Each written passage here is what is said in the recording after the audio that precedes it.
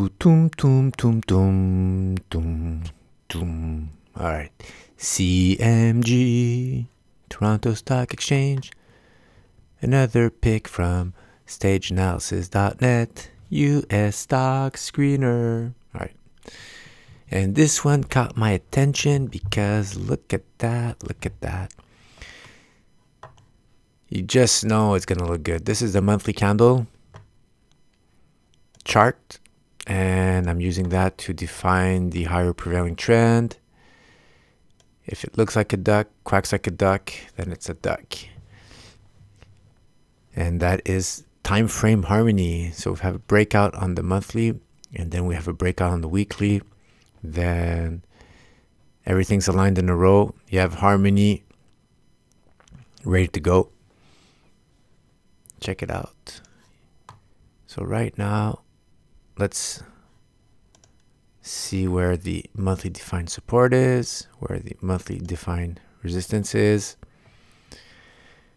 And within that, it's right close here. Some more monthly defined resistance. And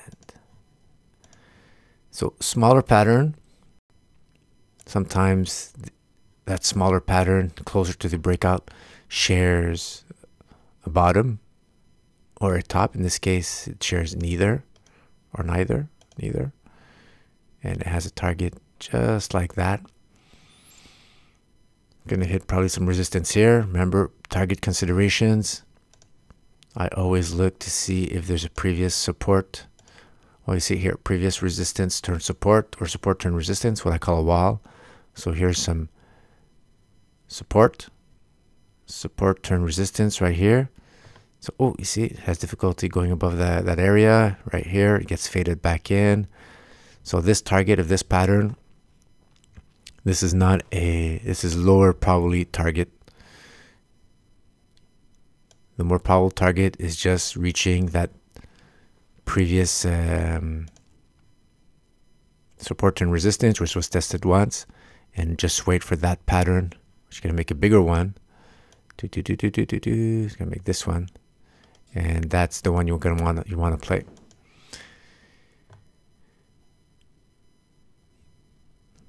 All right.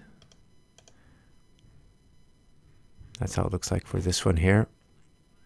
So we close by, but remember these are monthly candles. So when we go on the weekly, I have five years of data and this is going to look like a nice stage one.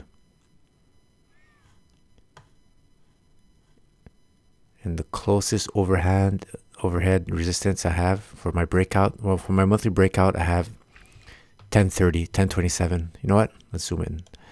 Let's define it. Do, do, do, do, here.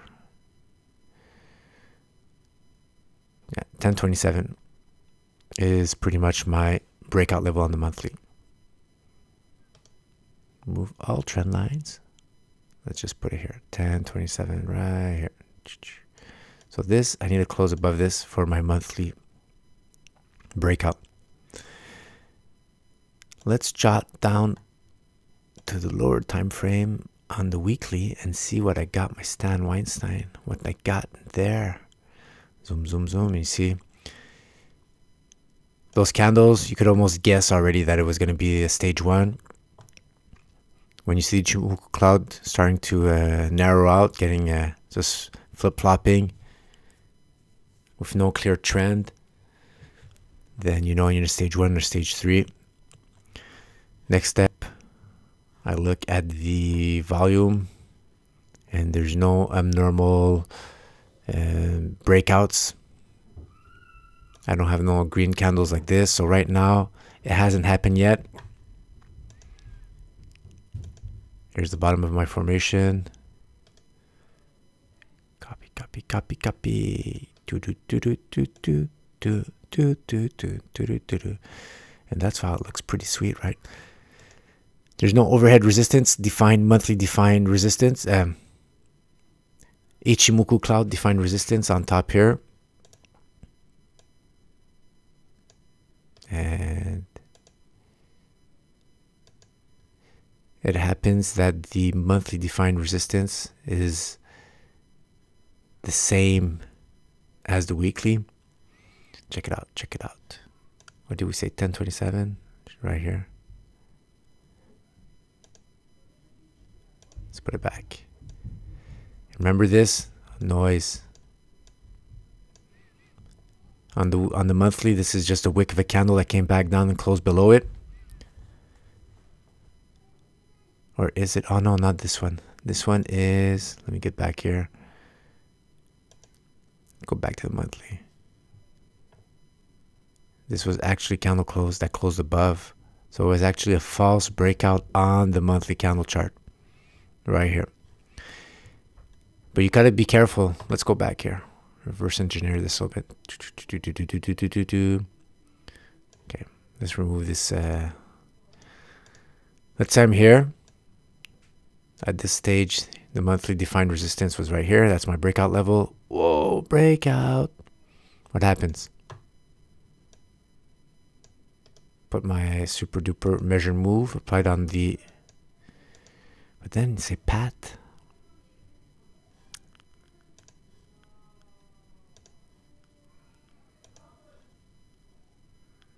What's wrong with that, Pat? Well, what's going to happen right here? If you're really careful, here you had a breakdown. Let's put it here. Support, support, breakdown, becomes a wall, support, turn resistance. So right now, this level right here at 11 is some support, is uh, a, has now become resistance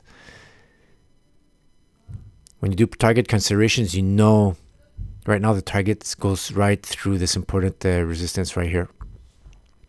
Doesn't mean it's not going to go there, but it might have to test a few times, might go back in the pattern, etc., go out. So this is not an A++ plus setup as I would play it on my monthly, my classic chart, chart trading on monthly candles. The arrow, you would have had to lower the arrow, but I don't know, the risk reward, you're almost at the target right here of the of the modified target. You'd be right there. So not A plus plus. And hopefully we would have not pulled the trigger on that and would have considered that would have ran into this wall right here. And what happened after that? Price action goes through.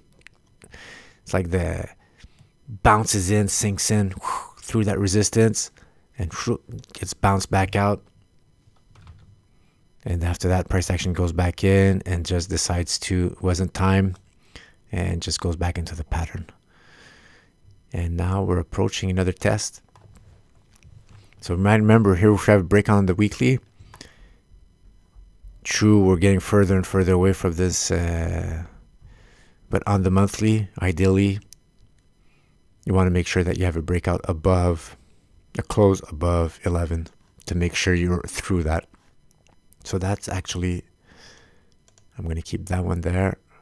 Remove all trend lines and just put back the 11 level.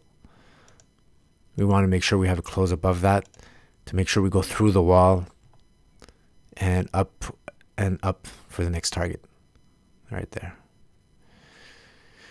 1080. All right, let's go back. Let's go back, back, back on the weekly. What does CMG? What does CMG stand for? Computer Modeling Group? What?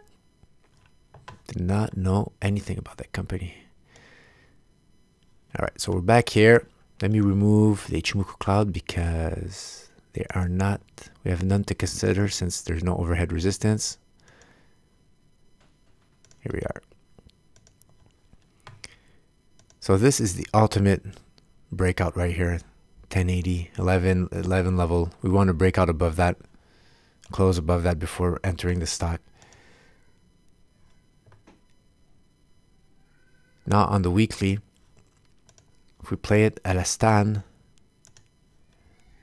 we have we had this nice horizontal breakout line and a close above that if the Stanway would be su sufficient to enter the trade if And that's what's good if we have the volume. And let's zoom some more. Zoom, zoom, zoom, zoom, zoom, zoom, zoom, zoom, zoom. If we have four times, so the pre the average about 250k. If we have uh, twice the average of the previous four weeks, so if we have at least 500k, RSI is already going upwards, and look the building blocks. Sometimes uh, some stocks they really uh, some charts to really talk to you. You know it's mature. For CMG, not quite there yet. Just not quite. The breakout, there's no breakout that's happened, but it's moving up there. It's moving up there. If you have a close above 1032, then and we'll see if it comes with volume or not. If there's no volume, then you just wait slowly for the for that close above uh, 1080 and ideally 11 on the monthly candle close. If you have that, Let's go back on the monthly. If you have that, then what's the implied measure move? Do do do do do do do do do do do do do